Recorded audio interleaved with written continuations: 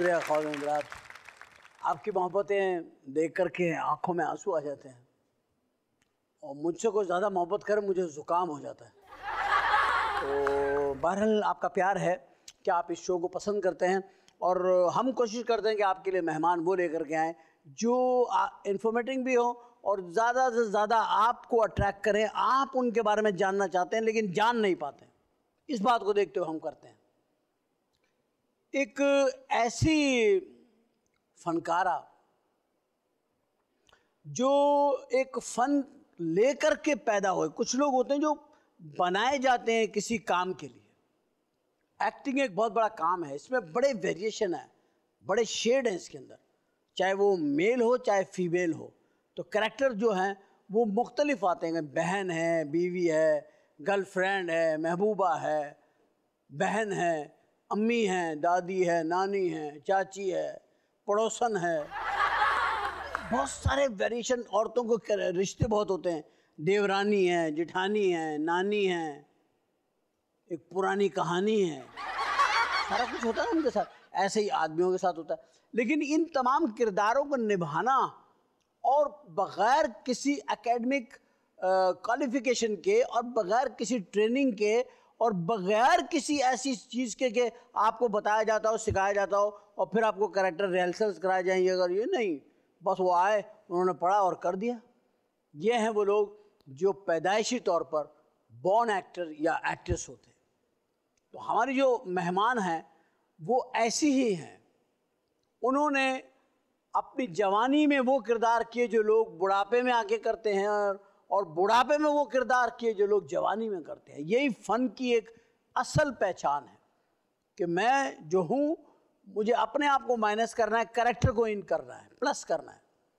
बहुत खूबसूरत फ़नकार हैं पाकिस्तान की। बहुत बड़ा नाम है। तमाम एजाज़ात उनको गवर्नमेंट दे चुकी है। पूरी दुनिया में उनके नाम की शहरत है। इस वक्त वो हमारी मेहमान हैं। हम उन्हें फ़ौरन बुला सकते हैं। ये बिल्कुल पीछे खड़ी हुई है। बिल्कुल पीछे, भाई। भाई, मैं बुला नहीं सकता। मैं बुला नहीं सकता। मेरे हाथ बंधे हुए हैं। मेरे मुँह पर टेप लगी हुई है। उस टेप पे लिखा हुआ है, ब्रेक। ये ब्रेक का टेप उतार के आता हूँ तो मिलते हैं। जाना कहीं नहीं, पहले बोलता हूँ हाँ? जाने का नहीं है। क्योंकि हम अभी आ रहे हैं तो फिर आप क्यों जा रहे हैं? हम आ रहे हैं और आप जा रहे हैं। आप मत जाइए, हम आ रहे हैं। एक मिनट के अंदर। Don't go anywhere will be right back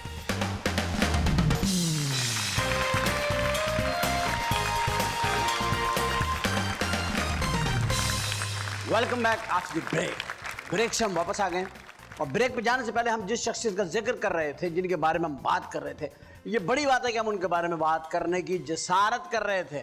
हमारा जो भी फ़न है या जितने भी लोग हमें जानते हैं दुनिया में कहीं, क्या हमें चाहते हैं हमारी एक्टिंग की वजह से, हमारी एक्टिंग हमारी परफॉर्मेंस उनके सामने कुछ नहीं, हम बिल्कुल समझ लीजिए, एक जैसे तिफिल मकतब होते हैं, ऐसे हैं हम उनके सामने। उनमें कुदरत ने इतना फ़न इतनी वैरायटी इतनी वेरिएशन इतना एक्सप्रेशन दिया है कि वो जब भी आई हैं जिस किरदार में भी आ गई, वो छा गई है। और फतेह किया है उन्होंने इलेक्ट्रॉनिक मीडिया को। और मैं समझता हूँ ऐसे घराने से भी ताल्लुक़ नहीं रखती जो मेरी मालूम आता है कि कोई फ़नकार घराना हो। ये वो लोग होते हैं जो खुदादास सलाहियतों के साथ पैदा होते हैं।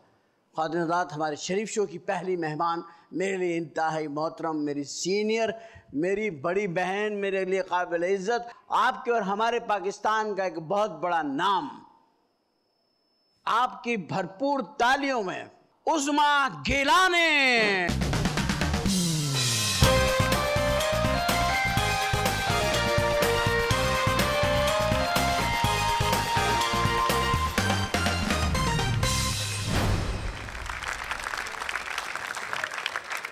बाजी, आपको मैं शरीफ शो में खुश आमदीद कहता हूँ। बहुत उमर। जैसे आपने अभी बातें कर रहे थे, जो कुछ आपने कहा, मैं ये आपको वापस देना चाह रही हूँ कि मेरी बहुत बड़ा मेरे लिए एजाज़ है और मेरी खुशनसीबी है कि मैं आपके बहुत कामयाब, बहुत आप नवाजे हुए हैं। मैं अभी आपसे मेकअप रूम में जो बातें कर रही थी, उसमें कुछ गलती नहीं है। आप बेहद नवाजे हुए और अल्लाह ताला के इतने आप कोई प्यारे बंदे हैं जो आपको अल्लाह ताला ने पता नहीं कहाँ से कहाँ पहुँचाया हुआ। मेरी खुशनसीबी है बेटा।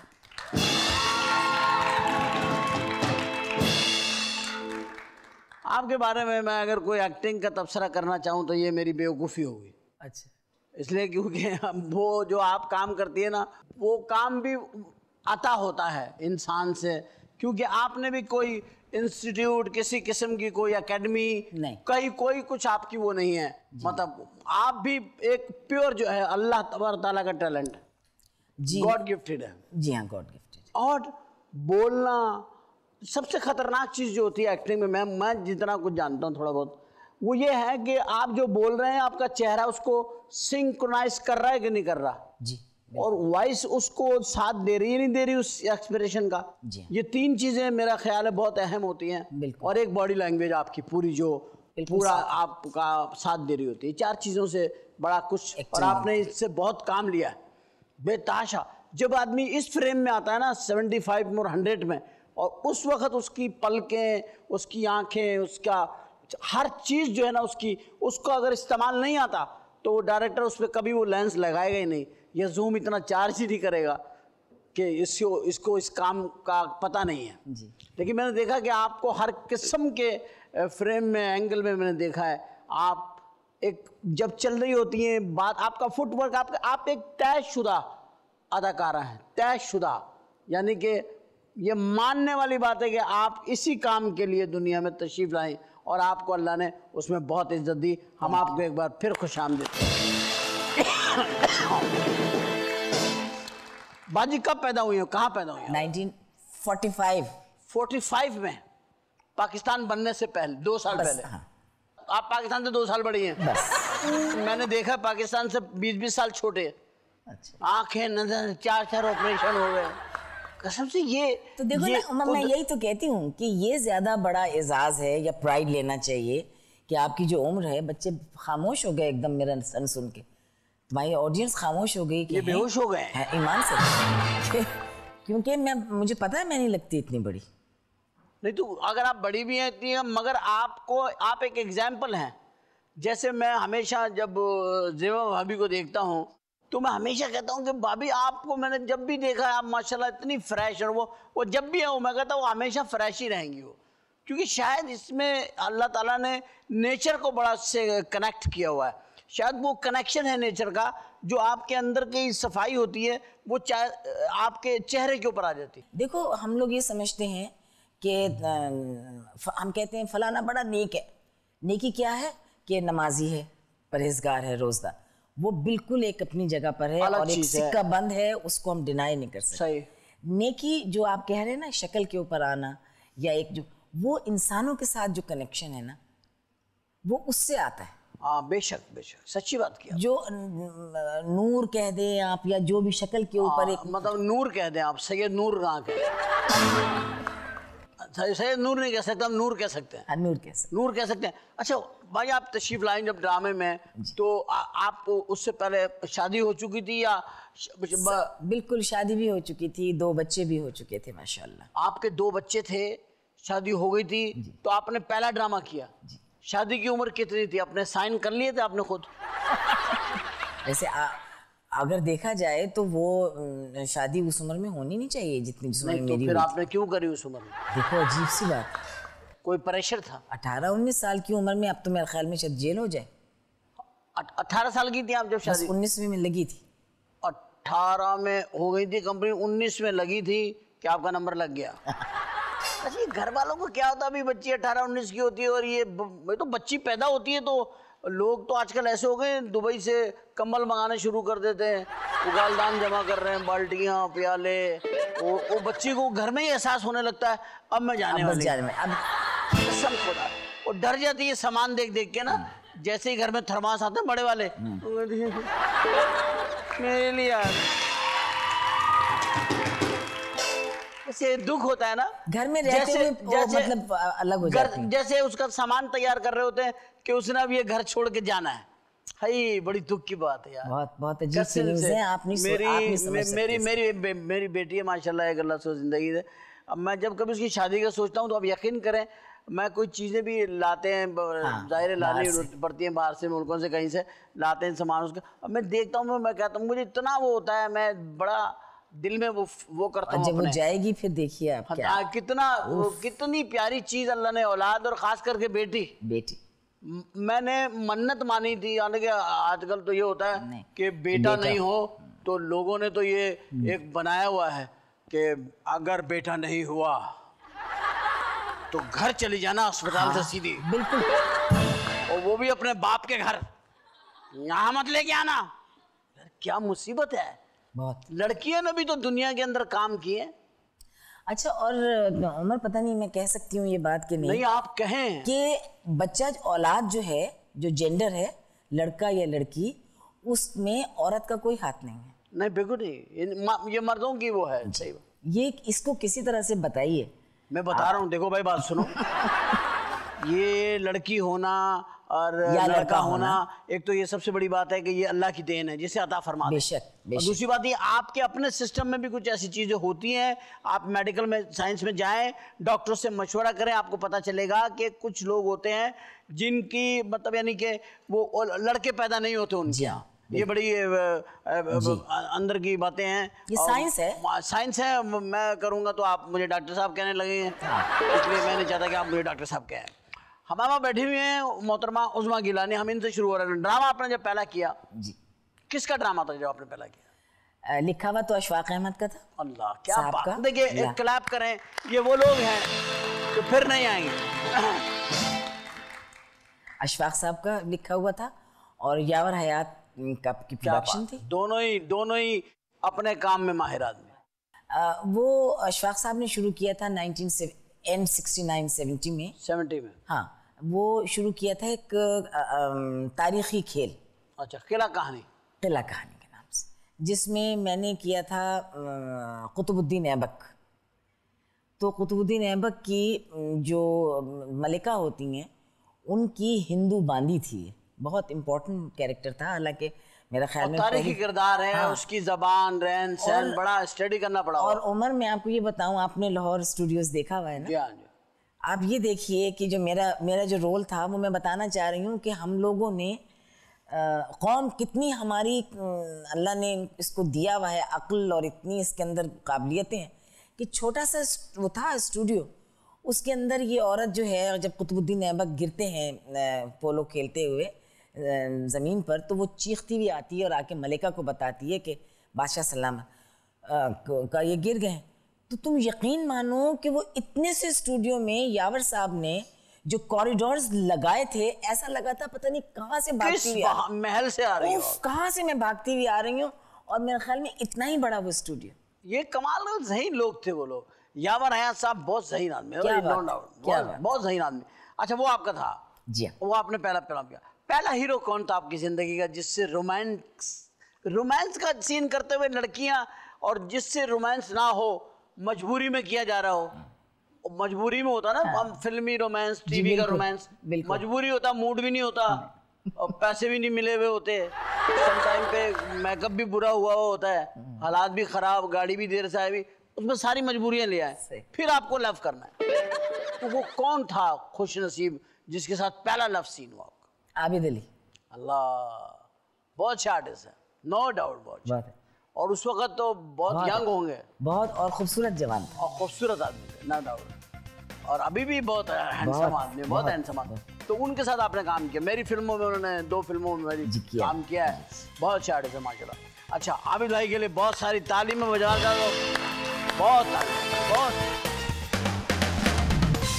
अच्छा भाई वैसे तो आपकी शादी हो गई जब तो ये सवाल ही नहीं रहता। वैसे कभी ज़िंदगी में रोमांस की तरफ़ कभी जहन बना नहीं कि आपने कभी सोचा कि आपकी गलत शादी हो गई? ना तो हाँ, नहीं, सही है। अच्छा, नहीं, आप बिल्कुल सही कह रहे हैं, एक, एक होता ना लड़कियों की शादी तो हो जाती है फिर भी सिस्कियाँ ले लेती है खिड़कियों में बैठी हुई। हर आर्टिस्ट की शादी में समझती हूँ गलत होती है। गलत होती है।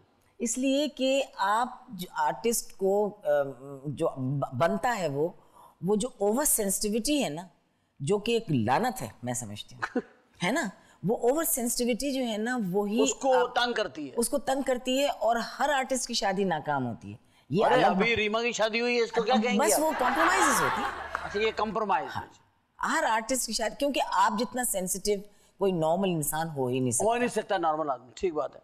उसके जहन में ये सब टच ही नहीं ये है। नहीं है। जहाँ हम समझते हैं यहाँ क्लोज आना हाँ चाहिए। यार क्या मुसीबत है? आप, आप, आप मतलब हो गया डिप्रेशन है? खत्म। किस वजह से मुझे नहीं मालूम। सही बात है। यार क्या ये आप बेकार की आर्टिस्ट बन आपकी अजीब बात है? तो वो नॉर्मल आदमी तो परेशान हो जाता है। पैदा तो आप हो गई ज़ाहिर बात हिंदुस्तान में जब पाकिस्तान आई तो किस शहर में आई? भावलपुर। ओह टुसाना के हाल है। हाँ तो सामने क्या हाल? है के हाल है? बोल मैं टुसाना नाल बहुत गल कर सा। अच्छा वो वो बच्चे को बिठाया हुआ था कंधे के ऊपर? अच्छा। बच्चा कहता है और सर के ऊपर जूती रखी होती। कंधे पे बच्चा नहीं नहीं मर्दों ने मर्दों की बात। हाँ। अच्छा वो कहेगा अब्बा कहेगा हाँ अब्बा। बेटा भी अब्बा कह रहा है बच्चा भी अब्बा कह रहा है। मतलब समझो एक एक में दो अब्बा चल रहे हैं। हाँ दो अब्बा। मगर वहाँ तो वहाँ का स्टाइल से बड़ा एक ट्रेडिशनल जो उसका एक टच है ना वो क्लास है। मैं अभी नवाब मालपुर साहब के शूटिंग करके आया इधर उधर गया था।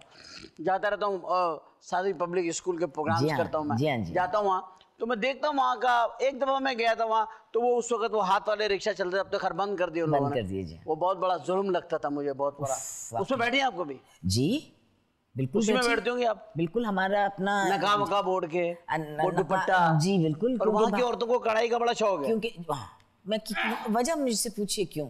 भाई क्यों? क्योंकि बहावलपुर के और या डेजर्ट के जो भी लोग हैं धागा फ्री मिलता नहीं हाँ वो भी मिलता है। लेकिन सिंध का भी यही है उमर कि मर्द जो है ना वो अ, काम करने के इतने शौकीन नहीं है। सिंध मतलब, में भी? हाँ और बहावलपुर में भी। सुता ना में कोई तंग ना कर सुता पे क्या करेंगी पे ये? वो लूठवान को काम करना दफ़ा थी क्या करें ना पे था पे वाल जा क्या करा? मिल जाता है का नहीं काम। कितना जावा? क्या करा? पड़ा अब वो बेचारी कढ़ाइयाँ कर रही। है तो हैंडीक्राफ्ट जो है ना अच्छा ये काम इस वजह से आया? बिल्कुल। दुपट्टे उन्होंने। कढ़ाइयाँ करके वो घर वो मार्केटों चल- में घर वो चलाते हैं। यार क्या वो एक वो भी एक औरत का क्या खूबसूरत रूप है। है, बिल्कुल। हेल्पिंग नेचर उसका अपने शोहर के साथ कंट्रीब्यूट करना बिल्कुल। कि मैं क्या मेरा कंट्रीब्यूशन क्या होना चाहिए? एक मेरे हाथ में हुनर है मैं कर लूँ। तो हमारे यहाँ इस सोसाइटी में देखती हैं आपके कोई ऐसे हस्बैंड वाइफ हैं जो एक दूसरे को सपोर्ट कर रहे हैं। आजकल की लड़कियाँ तो बहुत ज़्यादा कर रही हैं। हमारे ज़माने में तो इतना नहीं था कि औरतें जो हैं वो बाहर निकल के काम करें या कंपल्सरी हो। जैसे कि बाहर के मुल्कों में है वो सिंगल बाहर के मुल्कों में हर आदमी काम करता भाई। वहाँ वहाँ तो लोगों ने अपने कुत्ते काम पे लगाए हुए हैं। हाँ। कुत्ते जाते हैं अखबार लेके आते हैं बाजारों से। अं- अंधों को उसको उसको घर लेके जाते हैं कुत्ते। यार कुत्ता नबीना आदमी को घर ले जाता है ऑफ़िस लेके जाता है छोड़ता है कैसे पहचानता है? क्या करता है? लिफ्ट में बिठाता है। जी हाँ नंबर दबा देता है सेवन जी यार हाँ क्या टेलीफोन उठाता है। टेलीफोन उठा के देता है। दे देता है। टर्न तो टेलीफोन उठा के उसके बाद फेंक देता है कि ये तुम्हारा फ़ोन आया। यार क्या कुत्ता मैं तो उस कुत्ते को देखता हूँ। क्या कुत्ते अब अभी साहब अभी साहब मैं तो इसे कुत्ता नहीं कहता। मैं तो कुत्ता बाबू। बाबू टाइप का आदमी है एक कुत्ता है वो। बिल्कुल। और घोड़े देख रहे हैं आप वहाँ पे। ये वो नहीं बाहर मुल्कों में तो जानवर भी आप तो ऑस्ट्रेलिया में कितना फ्रेश जानवर है वहाँ पे। परिंदे नीचे उतर रहे ज़मीन पे बेखौफ खतर उनको पता कोई हमें मारेगा नहीं। हमारे यहाँ परिंदा उतर रहा है दूर दूर देख रहा है कोई बस तो नहीं जल रही? कोई हंगामा कोई लड़ाई क्योंकि इनको ही लगती है ना गोलियाँ जो हवाई फायर होते हैं। उनको पता है ये नीचे तो एक दूसरे को मार नहीं रहे। ये शोबाजी में ऊपर ही गोलियाँ चलाएगा। और ये हम हमारी बहन बहन बहन बेटियाँ मर जाएँगी हमारी।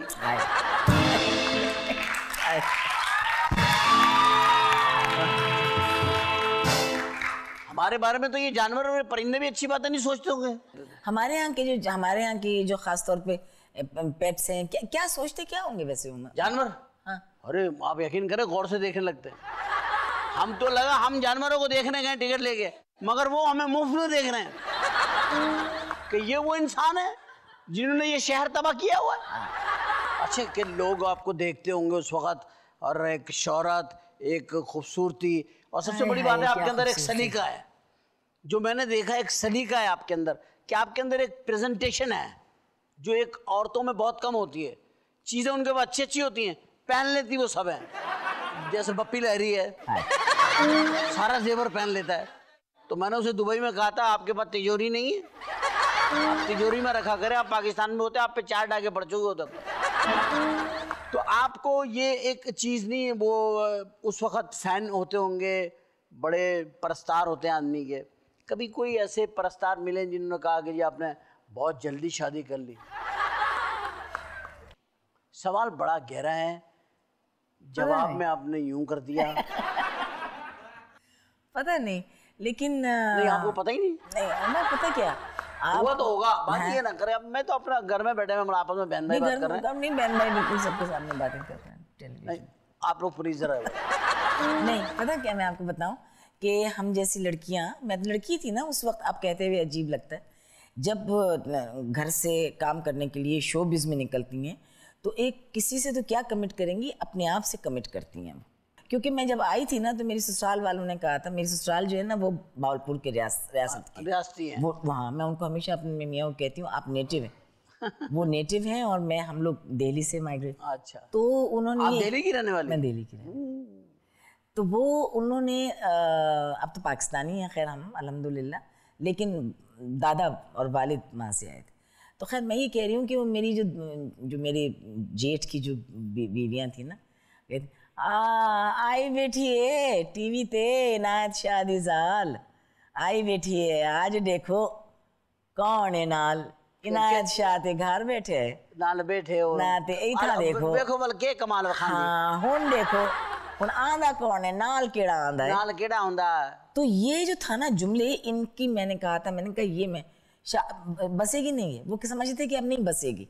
क्योंकि हमारी ट्रेडिशन है ना हाँ, कि शादी शोबिस की शादी में। कब शादियाँ कामयाब होती हैं? सही बात आपने तो कही ये ये- ये कितने मसाइल हैं जिनका अब से पहले मेरा ख्याल है ये टीवी के जो लोग हमारे नाजरीन हैं उनको इन बातों का पता ही नहीं नहीं, होगा उनको नहीं कि एक एक्ट्रेस जो आती है टेलीविज़न करके वो कितने प्रॉब्लम फेस करती है? और आप अगर ज़िम्मेदारी समझे तो ज़िम्मेदारी है नहीं तो ये कह दें आहिस्ता आहिस्ता उन्हीं लोगों ने आपको अपनाना शुरू कर दिया होगा।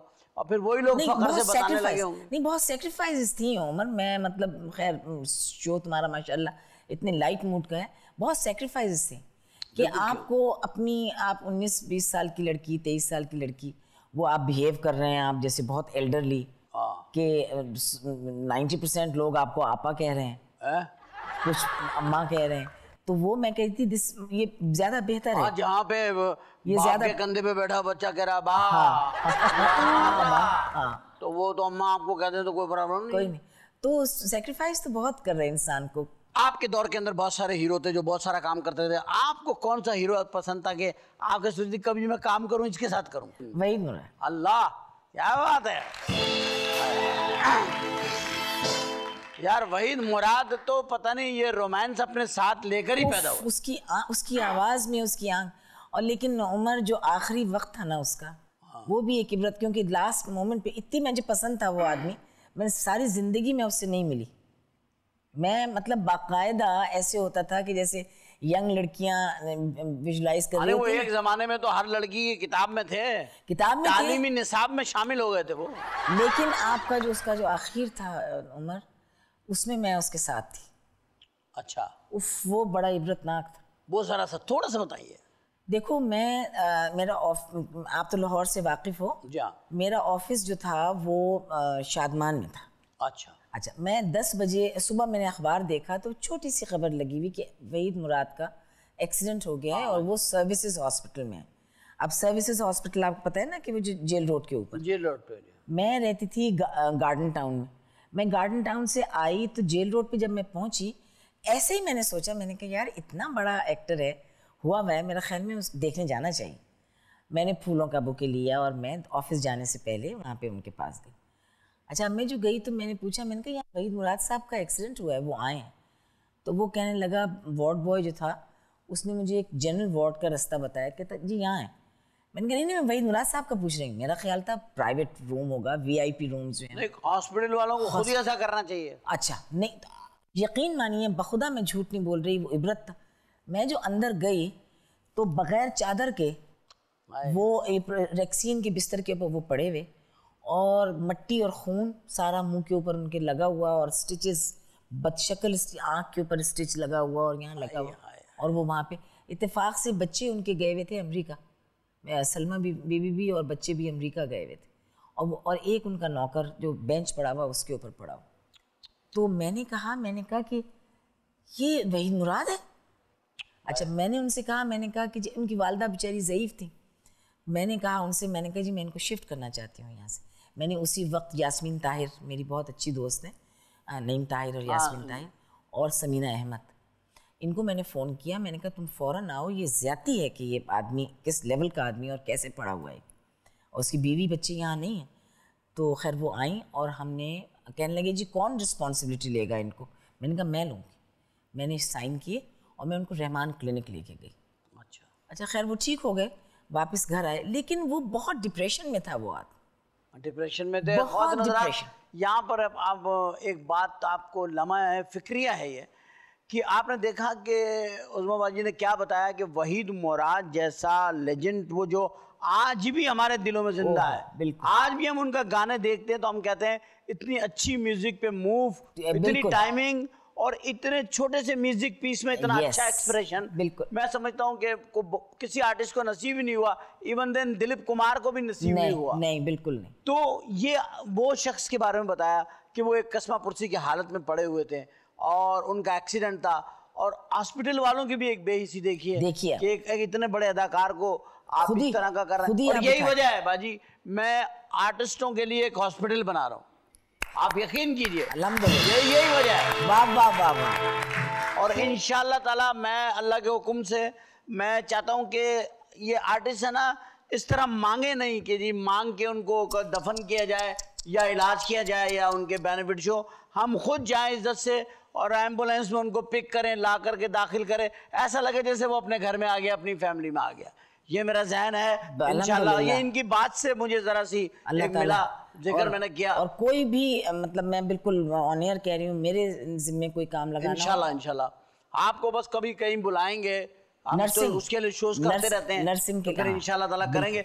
ये तो हमारे साथ इस वक्त मौजूद है उजमा बाजी और पाकिस्तान का एक बहुत बड़ा सरमाया है। अल्लाह इनको ज़िंदगी दे, सेहत तंदुरुस्ती दे और अल्लाह हमें अकल दे, शऊर दे, हमें समझ दे, हमें ये अकल रहे कि किस जगह पे हमने ब्रेक लेनी है। अगर हमने ब्रेक नहीं ली तो फिर सोच लो कि हमने चेक किस तरह लेना है। आपकी मुस्कुराहट चेहरे पे आ जाती है ये बात सुनकर। लेकिन ये पूरे जितना नेटवर्क है दुनिया का, जितना, दुनिया के जितने बड़े चैनल हैं, आप में सब में देखा होगा, एक ख़ास जगह पे आकर के एक ब्रेक लेनी पड़ती है और ब्रेक इसलिए भी होती है कि ताकि मेहमान भी थोड़ा सा फ्रेश हो जाए, आप भी फ्रेश हो जाएँ और थोड़े से फ्रेश हो जाएँ हमारे चैनल के लोग भी। तो कहीं मत जाइएगा, हम आते हैं अभी वापस चंद लम्हों में। आधा मिनट लगेगा, मैं आने पे don't go anywhere we will right back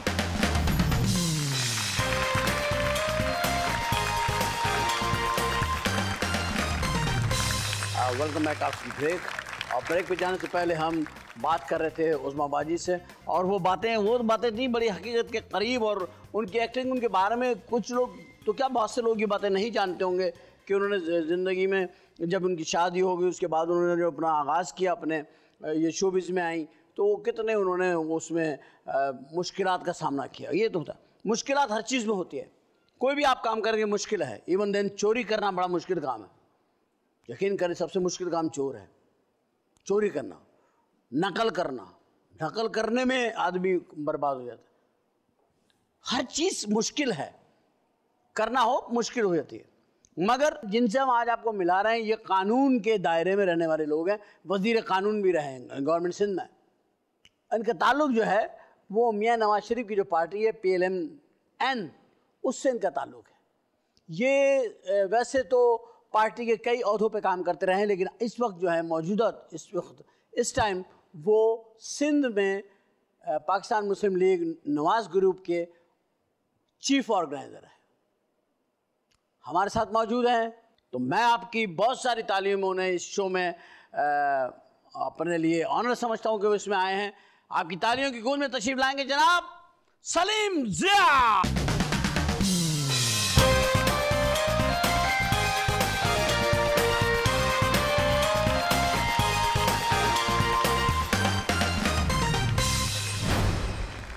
Salim Zia साहब मैं आपको शरीफ शो में खुश आमदीद कहता हूँ।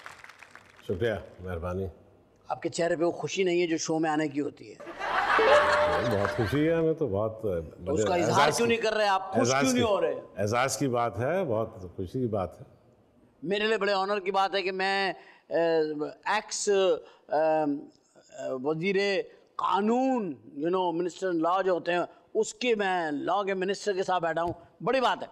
आपने इस वक्त के सियासी माहौल को भी देखा है।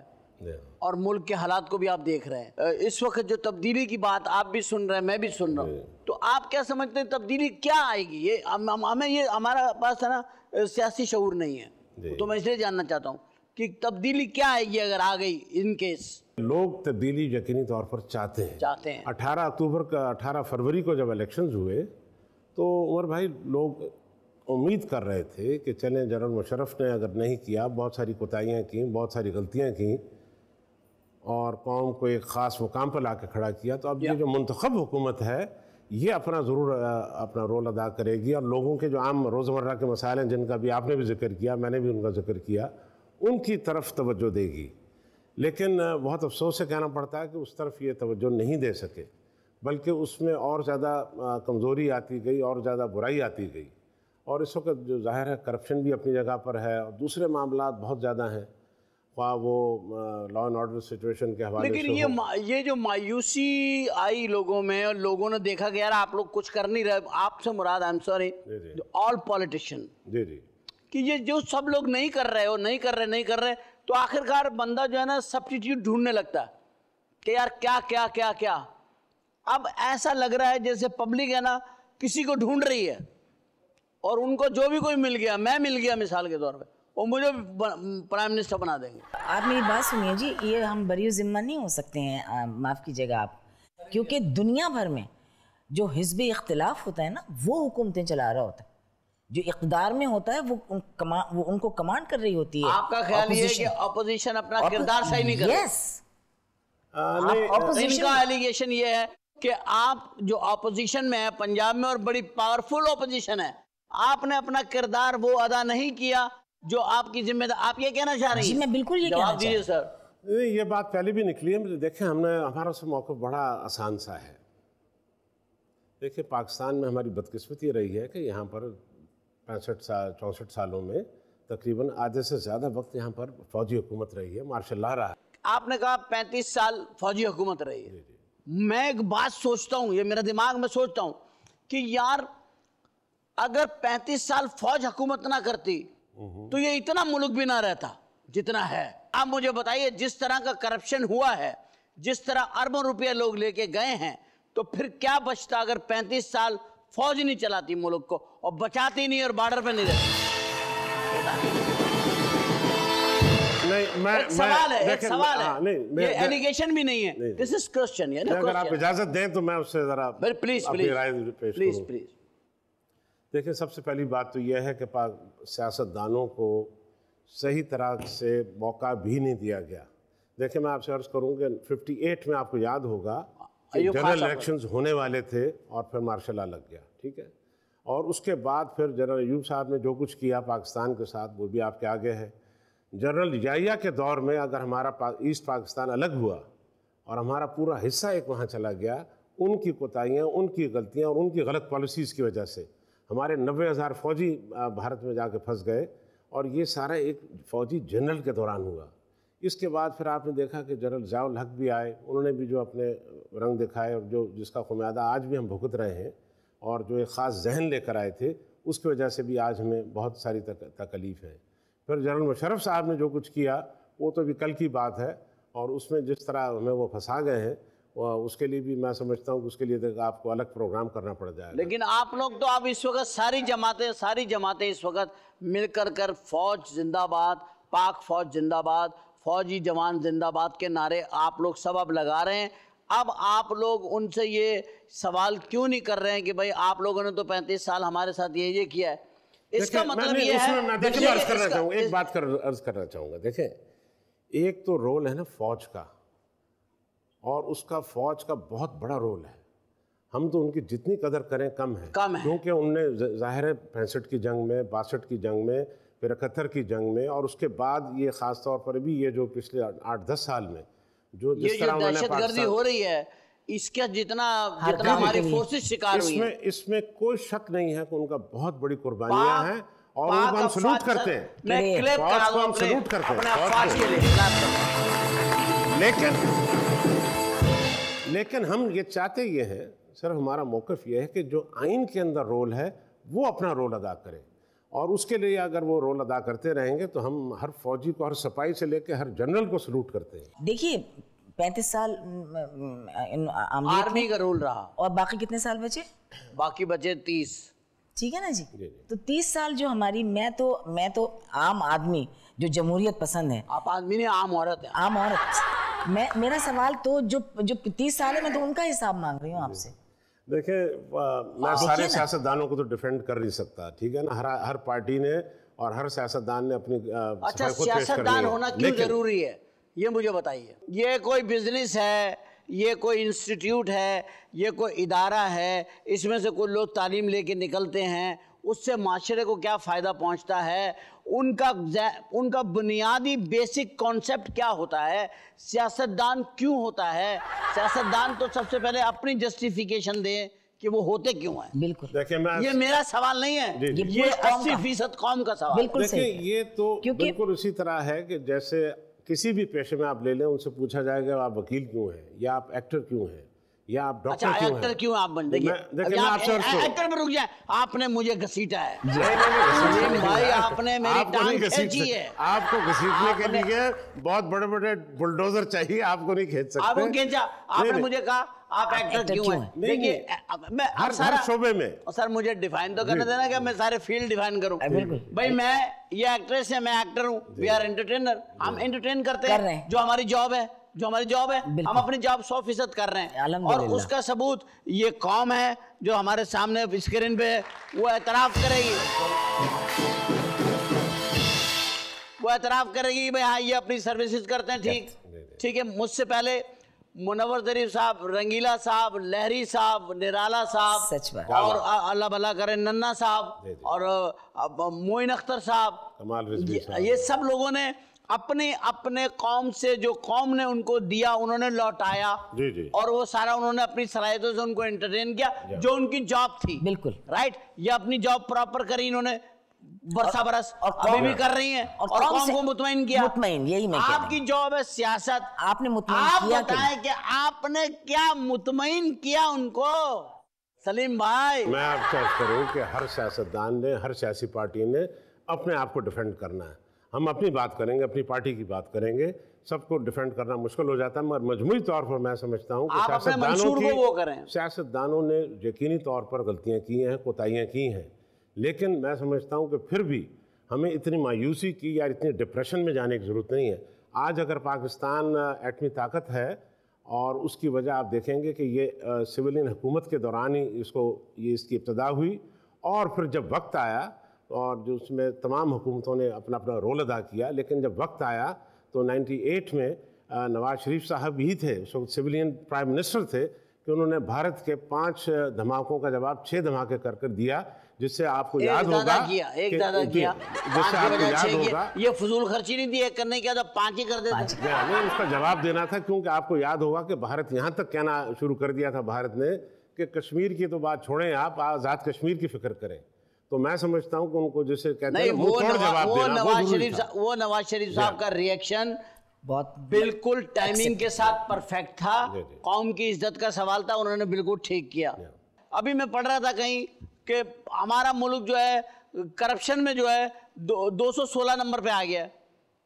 सबसे ज़्यादा हमारी करेंसी इस वक्त दुनिया में कमज़ोर तरीन करेंसी है। हमारी कौम सबसे ज़्यादा इस वक्त दुनिया में तनकीद का निशाना बन रही है. हम लोग उतरते हैं किसी इंटरनेशनल एयरपोर्ट के ऊपर और हमारे लिए खास मशीनें लगी हुई हैं। सच कह। हमने क्या पहना हुआ क्या हमने नहीं पहना है, उनको पहले पता लग जाता है। तो ये जो एक इंसल्ट हो रही है हमारी एयरपोर्ट्स के ऊपर ये हमारी पॉलिसीज़ करा रही हैं मेरा अपना ख्याल है। बिल्कुल सही। और पॉलिसी बनाती है गवर्नमेंट तो यहाँ पे कोई गोरा उतरता है आकर के अमेरिकन कराची एयरपोर्ट के ऊपर? इमिग्रेशन वाला मेरा ख्याल है उसका पासपोर्ट भी चूम के लेता होगा तुम्हारे सही है, सही सरकार आप मेरे यहाँ तशीफ लाए आपका शुक्रिया। अगर आपको होटल ना मिले आप मेरे घर ठहर जाए लेकिन हम इतनी रिस्पेक्ट दे रहे हैं। जी और आज आज जो कौम सड़कों पर है कि क्यों हमारे बेगुनाह हमारे जवानों को जिनके बच्चे मरे जिनके बेटे जिनके शौहर मरे उनको कैसे ये लोग आए और मारकर चले गए? इस सवाल के ऊपर कौम खड़ी हुई है। फैसला इस वक्त कोर्ट के पास है। गवर्नमेंट के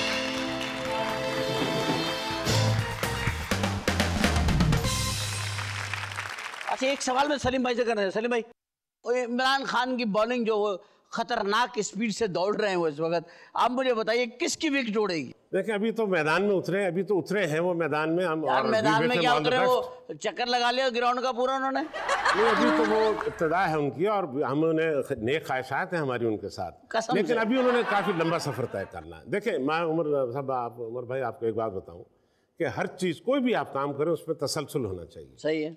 इसमें हम समझते हैं कि इमरान खान साहब का एक अच्छा काम है एक अच्छे क्रिकेटर थे अच्छा उन्होंने कैंसर हॉस्पिटल अपनी वालदा के नाम पर भी बनाया अच्छा काम किया। लेकिन सियासत आप ये कह रहे वालदा के नाम पे बनाया। ये है सियासी बात। आप बोले उन्होंने बनाया हॉस्पिटल नहीं नहीं वालदा देखिए वालदा को मैं वालदा के देखिए वो नहीं नहीं सर नहीं नहीं। नहीं। मैं देखिए वो किसी के नाम पर भी कर सकते मुझे थे। बताइए एक आदमी अपनी माँ से उनकी माँ उसमें मैं कोई उनको डिफेंड नहीं कर रहा हूँ। नहीं वो बीमारी उनने उनकी वालदा कैंसर में मरी थी। हाँ। उन्होंने फील किया कि ये कैसा मर्ज है मैं अपनी माँ नहीं बचा सका तो मुझे हॉस्पिटल बनाना चाहिए ताकि और लोग बचें। आप, आप, आपकी तवक्को थी कि सलीम जिया नाम रखा जाए नहीं नहीं नहीं ऐसे मुझे कोई शौक भी नहीं। मैंने जो काम किया कभी अपने अपने नाम पर चीज़ नहीं रखी। ठीक है। मैं कहना ये चाह रहा था कि उनका बड़ापन है कि उन्होंने किसी बड़े आदमी के नाम पर किसी हुकूमत जो वक्त का जो हुक्मरान है उसके नाम पर नहीं उन्होंने अपनी वालदा के नाम रखा। और बड़ी बात है। देखिए मैं बताऊँ नवाज़ शरीफ साहब ने अच्छे काम किए सल्यूट उनको। शबाज शरीफ साहब ने अच्छा काम किया। हम मैं लाहौर में रहता हूँ मैं सल्यूट करता हूँ वाकई में उन्होंने बहुत काम किया। मैं कहती हूँ कमाल काम उन्होंने बहुत काम किया। मुस्तफ़ा कमाल साहब ने यहाँ पे मुतदा कौमी मूवमेंट में सिंध के अंदर। काम किया। मैं हमेशा मुस्तफ़ा भाई को सल्यूट करता हूँ और मुतदा कौमी मूवमेंट को बहुत अच्छा काम किया। अगर हमें कोई और भी अच्छा काम करने वाला मिल रहा है तो ये हमारे मुल्क के लिए एक अच्छी चीज़ है हाँ। हम सबको सपोर्ट करके उसको वो करना चाहिए कि यार लाओ ऐसे आदमी को अगर इस आदमी के अंदर इतनी काबिलियत है बिल्कुल सर इतने लोग बने वज़ीर आज़म जफरुल्ला खान जमाली भी वज़ीर आज़म थे चौधरी शुजात साहब भी रहे चौधरी शुजात भी रहे जो बताओ चौधरी शुजात भी रहे मैं तो अ- अ- तकरीर से खत्म कर दो। भाई तकरीर हुई कब है? खत्म कर दो। जफरुल्ला खान जमाली साहब भी प्राइम मिनिस्टर है पाकिस्तान के। उनको मैं कहता हूँ होम्योपैथिक प्राइम मिनिस्टर उनको किसी ने जाके कहा साईं इलाके में पानी नहीं है। बोले बाबा दुआ करो अल्लाह से या अल्लाह इस गाँव में मीठे पानी के चश्मे खोल दे मेरा मालिक। उस शरीफ आदमी और उन पे करप्शन को कोई चार्ज नहीं है। इंतहाई शरीफ आदमी। मेरा फेवरेट आदमी है जफरुल्ला खान जमाली। मैं उनके लिए ताली बजाना कसम उनको बोला, साईं, नौकरी चाहिए। बोला, दुआ करो बाबा, अल्लाह सबको नौकरी दे और अल्लाह मेरी नौकरी भी बरकरार रखे। अच्छा नाइस आदमी नाइस आदमी।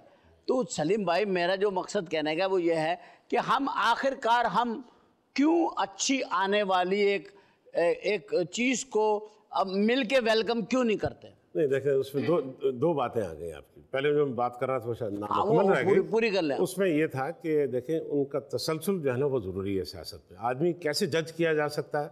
मैं कहूँ जी मैं आइंदा ये करूँगा मैं इस तरह करूँगा मैं इस तरह करूँगा उसका पैमाना क्या हो सकता है? कोई पैमाना नहीं सिवाय इसके कि माजी पर देखने के लिए। इमरान खान साहब का मैं ये रहा कि वो तसलसल नहीं रहा सियासत के अंदर। बाकी चीज़ों में तो मैंने बताया उन्होंने बहुत नाम कमाया अपना।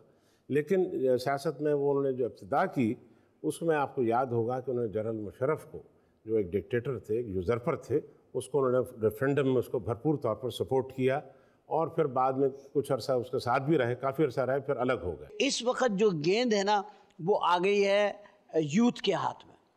यूथ जो है ना वो ये बड़ी खतरनाक अलामत होती है। जब आप नौजवानों के अंदर को करंट दौड़ा देते हैं ना तो ये एक थोड़ा सा मुझे मेरा अपना ख्याल है कि आप लोग भी ये एक थ्रिल तो है ना एक। एक थ्रेड तो है।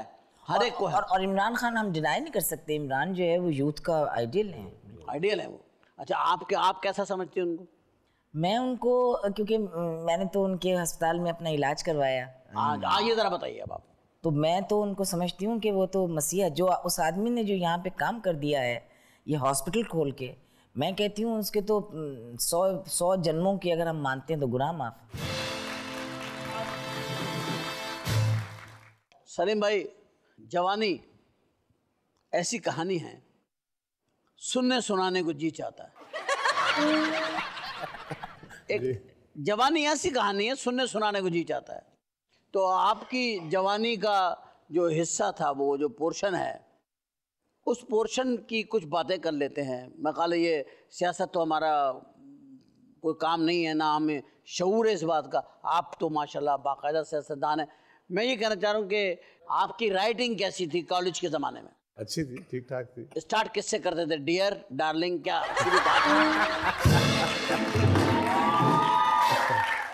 अब जरा शरारतें भी कर लो ना आपके हाँ सीरियसली मैंने बातें कर ली आपसे। डियर डियर ब्लश करने लगे सलीम साहब डियर कोई कोई डियर याद आ गई होंगी।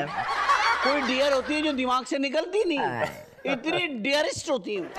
और इतनी नियरेस्ट होती है। आई वो देख रही होंगी इस वक्त। अल्लाह करे वो देख रहे वो ज़िंदा होंगी इस वक्त?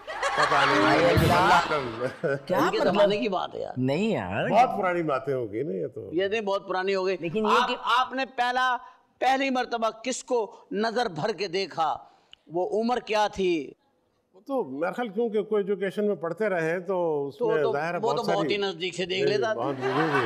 तो काफ़ी काफ़ी काफ़ी काफ़ी जो साथ क्लास फेलोज होती थी उनके साथ दोस्ती भी थी आना जाना भी था और कुछ मुतासर भी हुए। सलीम भाई एक बात बताइए। जी जी। हुसन परस्त हैं आप? बिल्कुल हूँ। हमारी असम्बली में अब कुछ खातन खुश शक्ल आई हैं। जी। इससे पहले ऐसी खातन थी कि लोग अपने वजारतों से इस्तीफे दे के चले गए कि यार रोज रोज हमसे ये अजियत बर्दाश्त नहीं होती। ऐसी थी। अब तो असम्बली बड़ी माशाल्लाह पढ़ी लिखी बड़ी एजुकेटेड और बड़ी पुररौनक। अब पुररौनक लफ्ज आपने इस्तेमाल किया। शायराना शायरी भी करते हैं? नहीं नहीं शायरी से कोई मौसीकी से दिलचस्पी आपको है? वो सुनने की हद तक बहुत है। ज़ाहिर है मैंने कौन सी आपसे कहा है कि आप मुझे। हसन की गज़ल सुनाए? नहीं नहीं, आपको कोई पता नहीं ना वो तो आपसे तो बड़ा सोच समझ कर जवाब देना होता है। यार मेरा क्यों नहीं पता होता? मैं मीरा हूँ। आपका कोई नहीं पता आप- आपका कोई नहीं पता आपका कोई नहीं पता। नहीं मैं आपको सच ही बता कर रहा हूँ। पाकिस्तान की मॉडल गर्ल्स जो आपने हमारी जो मॉडलिंग करती हैं। टीवी की एक्ट्रेसेस हैं हमारी फ़िल्म की एक्ट्रेसेस हैं इनमें से कौन सी आप समझते हैं ये मुल्क का नाम रोशन कर रही है लड़की है? जो नई एक्ट्रेसेस हैं उनमें तो मैं समझता हूँ कि रीमा अच्छे अच्छा मुकाम हासिल कर रही हैं। उन्होंने अपने आप को डेवलप भी किया है। और शादी भी हो गई उनकी। शादी भी हो गई और डेवलप उन्हें मैंने उनको इब्तदाई दौर में भी देखा। लेकिन उन्होंने अपने तलफ़ुज़ में ग्रूमिंग की अपनी grooming की अपने आप को बेहतर किया अच्छा, अपने आप अच्छा, को अच्छा। किया और बेहतर किया। दूसरी भी एक्ट्रेसेस हैं कभी उनको देखते हैं मॉडल्स में देख लेते हैं या उनको एडवर्टीजमेंट्स में देख लेते हैं या टीवी प्रोग्राम्स में देख लेते हैं। मतलब देखते हैं आराम से बैठ के तबीयत से। है ये कभी ना कभी तो घर पे बैठना है ना सारा वक्त तो बाहर नहीं होते। नहीं देखते हैं बैठ के लेट आवर, लेट आवर्स में। बारिश हो जाती है फिर आप लगाते हैं नहीं नहीं वो तो चलता रहता है। उनके साथ उनके सामने देखते हैं आप इन हाँ औरतों हाँ क्यों नहीं? वो- क्या reaction नहीं करती? नहीं नहीं उसमें रिएक्शन की क्या क्या बात नहीं देखिए एक आदमी देखता है ना उसकी आँखों में आ जाता है, कैसे देख रहा है बाजी हिंदुस्तान हमारे से एक्टिंग में अब जो प्रोडक्शन बन रहे बहुत आगे चला गया बहुत आगे चला गया। हम लोगों में क्या चीज़ की कमी है कि इतना टैलेंट है इतना सब कुछ है लेकिन हम हिंदुस्तान हिंदुस्तान करते हैं। ये हमारे में से सलीम भाई आपसे भी पूछूँगा ये क्या प्रॉब्लम है? सर मैं तो इस चीज़ मैं मैं इससे कायल नहीं हूँ। नहीं जी नहीं टेक्नोलॉजी में टेक्नोलॉजी सर टेक्नोलॉजी में हम पीछे हैं। इसी वजह से हमारा जब टेक्नोलॉजी में आप पीछे होंगे तो आपकी एक्टिंग आप कितनी करती रहिए? आप यूल ब्रेनर को लाके खड़ा कर दीजिए आप किसी को जब टेक्नोलॉजी नहीं है हमारा प्रॉब्लम ये है, हम टेक्नोलॉजी अव्वल तो सबसे बड़ी बात ये है उमर कि मैं हर प्लेटफॉर्म से ये लेती हूँ लिबर्टी कहने की कि वहाँ पर एक्टर जो है उसको गवर्नमेंट लेवल के ऊपर बेइंतहा इज़्ज़त है। बहुत बड़ी और हम लोग जो हैं हम एंटरटेनर तो समझ रहे हैं लेकिन काबिल इज़्ज़त नहीं। मैं हर शो में कहता हूँ कि पाकिस्तान की किसी हुकूमत ने कल्चर पॉलिसी नहीं बनाई। आज भी मैं चीख के कह रहा हूँ कि पाकिस्तान के सियासतदान जो आने वाले हैं जो हुकूमत में हुक्मरान होंगे उनको फनकारों से काम लेना लेना चाहिए, चाहिए, एक ब्रिज बनाना चाहिए उनके थ्रू। हमेशा ये- और भी ये आप इंडिया को देखें वो एक मुझे लगता है फीमेल ओरिएंटेड कंट्री है जिसमें खवातीन उनकी छाई हुई हैं पूरी दुनिया में। बिल्कुल। उस क्लास को उन्होंने टच कर लिया है जिसको ऑस्कर अवार्ड कहते हैं। ऑस्कर में चले गए वो। और हमारा निगार अवार्ड भी बंद हो गया। सही कह रहे हैं। उमर आप ये देखिए मैं न्यूयॉर्क में थी तो मैं भी ड्रामा करने गई हुई थी और वहाँ के जो इंडिया के एक्टर है अनिल कपूर वो भी शायद फ़िल्म करने ही आए हुए होंगे। मुझे मेरा प्रोड्यूसर बेचारा पिक करने आया कि बाजी मेरे साथ चले ना। वो इतनी इज़्ज़त अफजाई ज़रूर कर दी कि वो जो वैन हायर की थी उसमें नहीं किया। मुझे अपनी गाड़ी में बिठा के ले गए। और वो आदमी सोया हुआ था और बाहर लिमोजीन खड़ी हुई थी उसकी। जब हाँ, उठेगा जब उठेगा कॉन्ट्रैक्ट में होता है। जब उठेगा जब आएगा। सलीम भाई अगर मैं मुझे कुदरत इतनी ताकत दे दे मैं आपको वज़ीर आज़म बना दूँ। कुदरत से दुआ करूँ मस्त दुर्वेश आदमी हूँ। या अल्लाह सलीम जा भाई को वज़ीर आज़म बना दे। वज़ीर आज़म आप बन गए। जी जी। पहला क्या आपका फैसला होगा इस कौम के मफाद के लिए? मेरा ख्याल सबसे बड़ी अहमियत जो हमें इसको देनी चाहिए मैं दूँगा अगर मौका मिले और ऐसी चीज़ हो। दिल में है ना तो मौका मैं मिले मैं समझता हूँ कि अभी आपने बना दिया ना अब क्या करें? अब वो आपकी बात। तो तो मैंने बनाया मैं दो मिनट में हटा भी दूँगा बता रहा हूँ। वो वो तो मैं जानता हूँ मुझे इलम है। सबसे ज़्यादा जो हमें इस वक्त तवज्जो देनी है अपनी प्रायोरिटीज़ पे देनी है।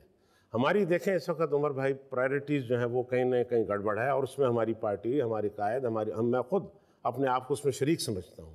हमारी प्रायोरिटीज़ क्या है इस वक्त? एजुकेशन पर डेढ़ परसेंट जीडीपी का।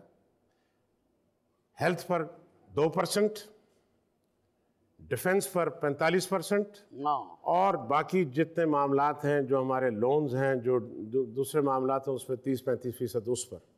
देखें ये बहुत बड़ी गड़बड़ है। अगर ये हमारी प्रायोरिटीज़ हों तो मैं आपको उमर भाई यकीन दिलाता हूँ बल्कि जितने लोग देख रहे हैं उनको भी यकीन दिलाता हूँ कि आप ऑक्सफोर्ड से ले आएँ, हार्वर्ड से ले आएँ, वर्ल्ड बैंक से ले आएँ, बड़े से बड़ा अफलातून और अरस्तू लेकर आ जाएँ, वो कुछ नहीं यहाँ तब्दीली ला सकता।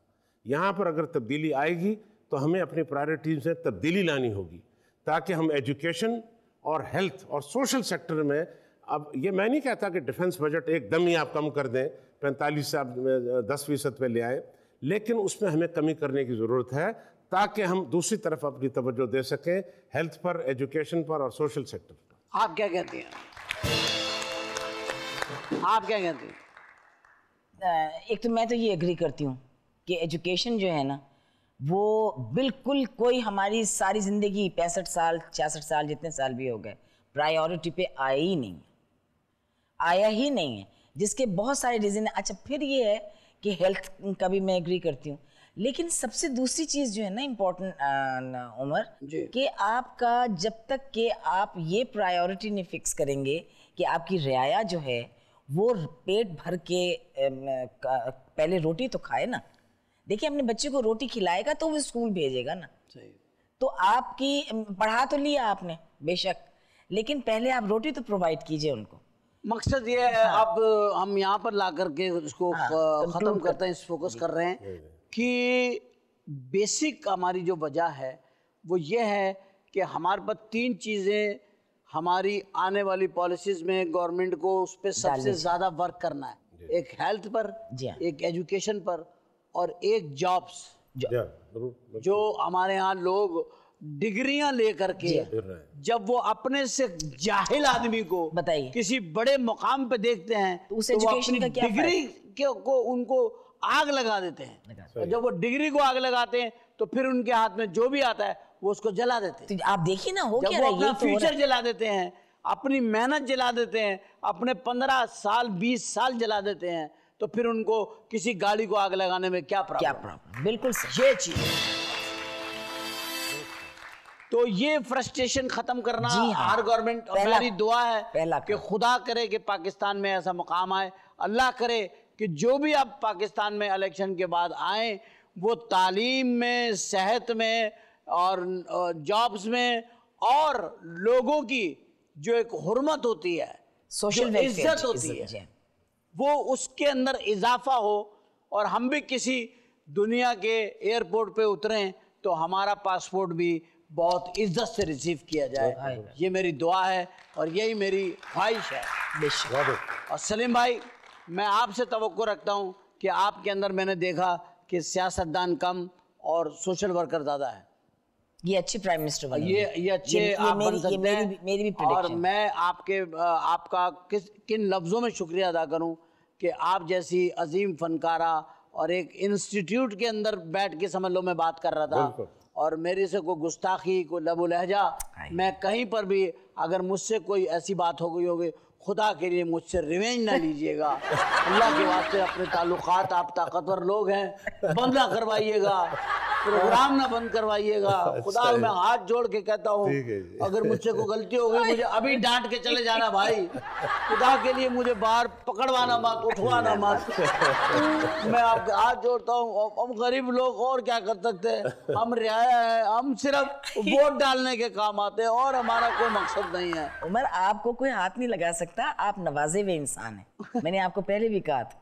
अल्लाह तबारक ताला आप लोगों को ज़िंदगी सेहत तंदुरुस्ती दे।